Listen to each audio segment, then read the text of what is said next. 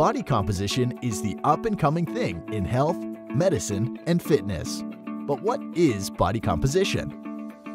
Body composition is a method of describing what the body is made of, including water, protein, minerals, and fat. It provides a much more accurate depiction of health and description of weight than BMI. According to the four-component model, a person's body breaks down into water, protein, minerals, and fat. The human body is made up of mostly water. Your fat, muscles, blood, and other bodily fluids all contain water.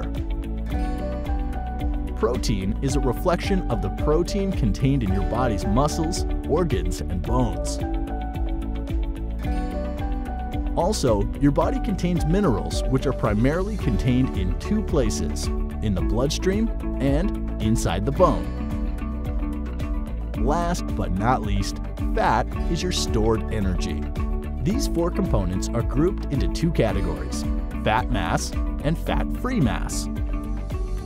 Fat-free mass is all the mass in your body that is not attributed to fat. Your fat-free mass contains a variety of different components, all your internal organs, skeletal muscle mass, and body water. Fat mass allows the body to store energy, protects internal organs, acts as an insulator, and regulates body temperature, among other things. Nobody can have 0% body fat, and maintaining too low or too high body fat percentages is generally regarded as inadvisable for long-term health.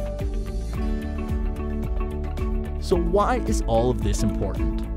It's important because there's more to your body than just losing or gaining weight. The InBody Results Sheet lets you know exactly what your body is made of using the four components by breaking down your weight, focusing on percent body fat, showing muscle development, and using BMR to help fine-tune your diet. Let's take a look. Break down your weight. Muscle fat analysis breaks down your weight into pounds of skeletal muscle mass and body fat mass. Skeletal muscle mass is the muscle you can work out at the gym.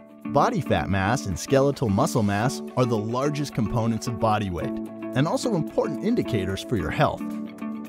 Aim for your skeletal muscle mass to be in the normal or over range and body fat mass in the normal or under range.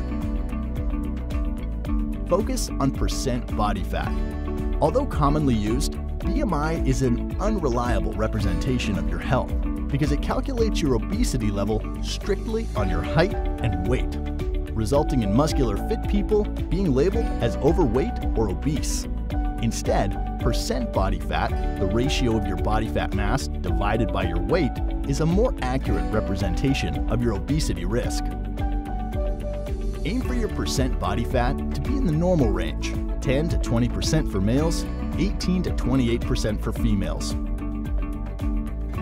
See muscle development, Segmental lean analysis reveals how lean your body mass is distributed within your body. It also evaluates your right or left balance. The top bar shows your lean mass in pounds.